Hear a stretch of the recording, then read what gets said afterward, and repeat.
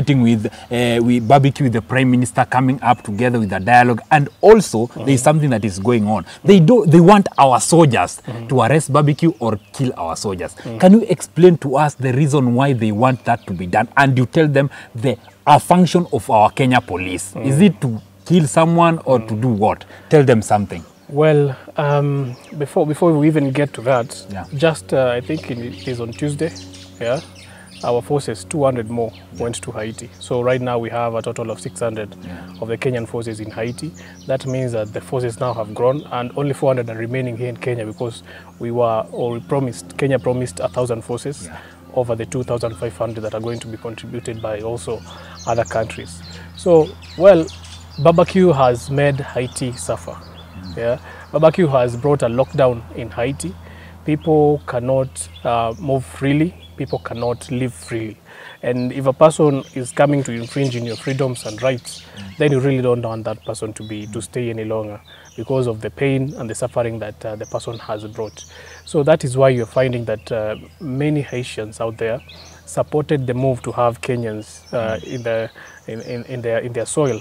And you can find um, even different medias which uh, engage the locals. You'll find that they're saying, the locals are saying that Kenyans are welcomed as long as they, of, of course, as long as they uh, go with the laws, as how the laws are supposed to, to go, and uh, not uh, arrest people without uh, having cause or uh, causing harm to, to the civilians.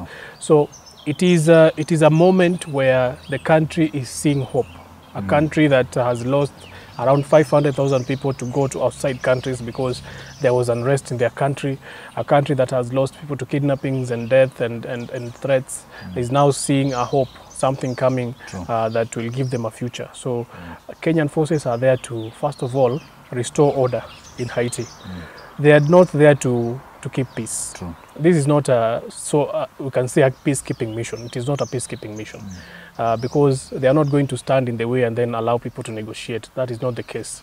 These MSS forces are going there to make sure that uh, Haiti returns back to its normalcy. That means they are going to engage the, the, the, the, the gangs and they are going to side, they are already siding with the government Mm -hmm. that is given. So they're not there to say that uh, the government is on one side and the gangs are on one side. No, they're going to help the government to counter these, these uh, insurgencies or these gangs. So that is the role of the Kenyan forces. Do you think barbecue will give up on this fight? Do you think he's going to give up and say that ah, I've decided to go to prison, I've decided to be arrested? Do you think it may reach a time that barbecue may decide to give in to the prime minister's demand? it is not certain because uh, barbecue has uh, we can say he has come from a very from very far and uh, if you look at his history it, it goes way back uh, even during the presidency of Jovenel Moïse so this means that barbecue has he has that goal that he wants to achieve. Recently it became political and he also wanted also to be uh, one of the presidents in Haiti uh, in history. So Barbecue has a goal to achieve, and uh, I don't think he's going to just lay down his arms. He's going to put up a fight, and uh, I know all the forces, the Kenyan forces, the MSS forces, uh, are expecting, together with the Haitian police, they are expecting a fight from from Barbecue. Even in re- in uh, recapturing that hospital, they engage in a fight. So Barbecue is not there to to just allow people to come and then take their arms and say, I surrender, because of course, Barbecue will go to jail. Uh, if anything, he will be captured and he will go to jail, and possibly he will never be released because he has committed crimes against humanity, hmm. killed a lot of people. So, uh, come what, am- what may, he will put up a fight, and I know they are expecting a fight. As you can see that recently barbecue decided to recruit children. What hmm. can you say about that? Why is he coming and recruiting children in his gang? It, it is unfortunate. It is Very sad. unfortunate. And before I even come to that, I have to make sure that uh, I give also people the context of the Kenyan forces that are going there. These are elite squads. You know, when people were saying that Kenyan forces are going to Haiti, many thought that there were these regular uh, Yeah. police officers that we see around here.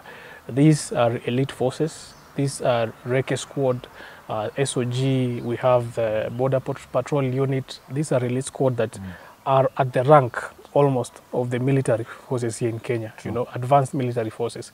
So when when we are speaking about the Kenya police in Haiti, we're not just speaking about anyone. We are speaking about the best of the very best here in Kenya that have trained for quite some time and even gone to urban warfare. They understand urban warfare very well. It's only that uh, they've not actually trained in the Haitian landscape and they have the Haitian police to tell them where to go and where not to go. That being said, it is unfortunate that uh, Barbecue is using uh, children Sure. in his course because, uh, you know, a warlord is a warlord. If you're presenting your, your own views, regardless of what you're doing, an armed struggle or a peaceful struggle, at least there are some there's some lines that you're not supposed to cross.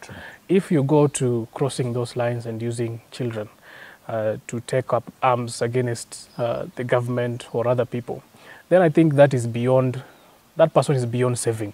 Yeah, these are the tactics that are being used by terrorists uh, in, the, in, in the Middle East, terrorists in, in some parts of Africa. So there is a need for us to have that genuine conversation because we understand people will always look at this thing twofold.